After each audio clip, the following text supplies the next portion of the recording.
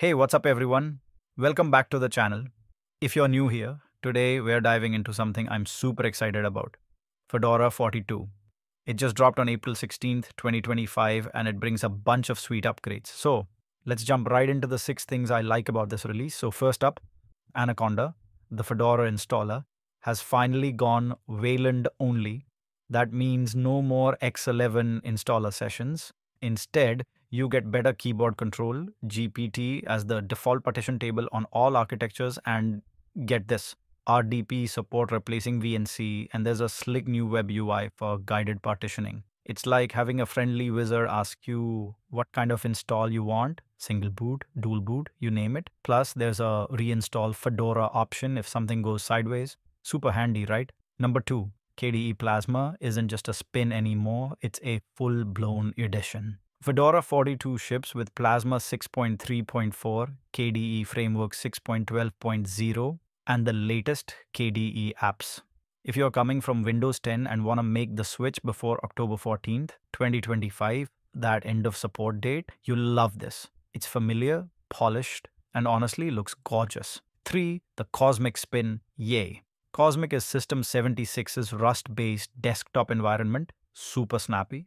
You get tiling and stacking window management per workspace, the Cosmic App Suite, and tons of customization. It's not as polished as Workstation yet, but if you love tinkering and experimenting, you're gonna have a blast. Coming in at 4, desktop environments got big upgrades across the board.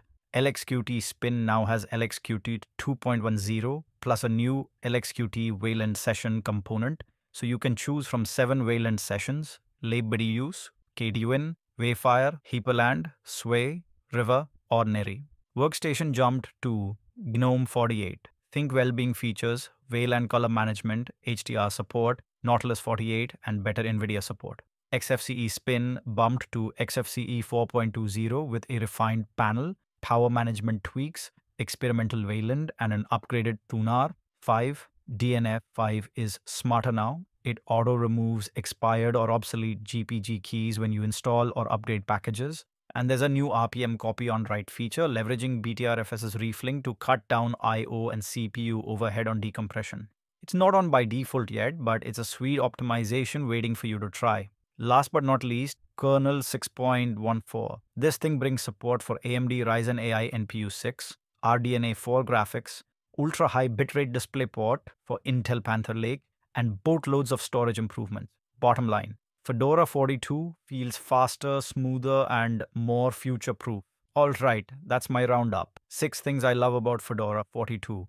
Let me know in the comments which feature you're most hyped for. And if you found this video helpful, hit that like button, subscribe if you haven't already, and ring the bell so you don't miss future Linux deep dives. Thanks for watching, and I'll catch you in the next one.